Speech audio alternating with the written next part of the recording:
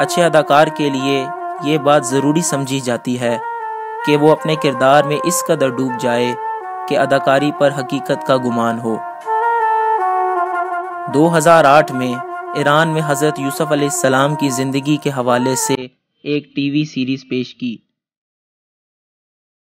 एक करोड़ बाईस लाख डॉलर की खतीर रकम से बनने वाली इस सीरीज़ की पैंतालीस एक साथ थी। इसे अरबी अंग्रेज़ी, तुर्की, उर्दू और बंगाली समेत दुनिया की कई ज़बानों में डब किया गया।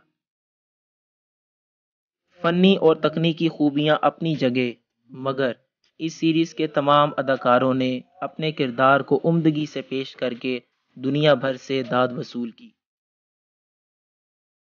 देखने वालों को इसमें जुलेखा का किरदार भी याद रहेगा। ये एक मुतनवो और अहम किरदार था।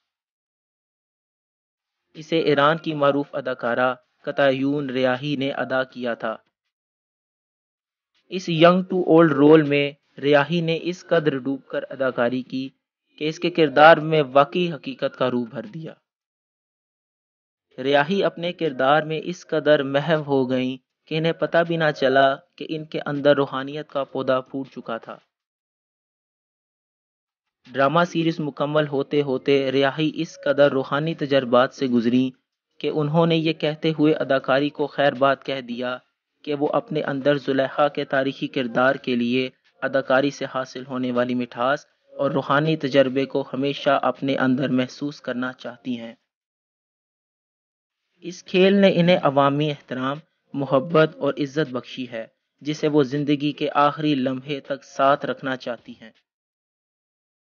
वो शो बिज़नेस को खैर बात कहकर अब फलाही कामों में मसरूफ हैं और कुमक के नाम से अपनी चैरिटी तंजीम चला रही हैं। कतायून रियाही 31 दिसंबर 1961 को तेहरान में पैदा हुई।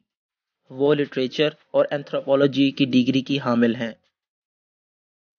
शुरू में वो बच्चों के लिए कहानियाँ लिखा करती थीं, मगर फिर उन्होंने अदाकारी के मैदान में कदम रखा और उन्नीस में पहली बार एक फ़िल्म में अदाकारी की।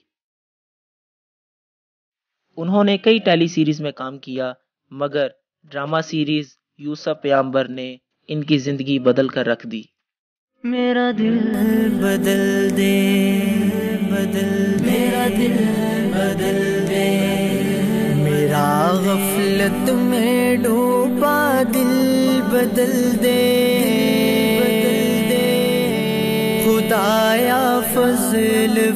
मा बद दे बदल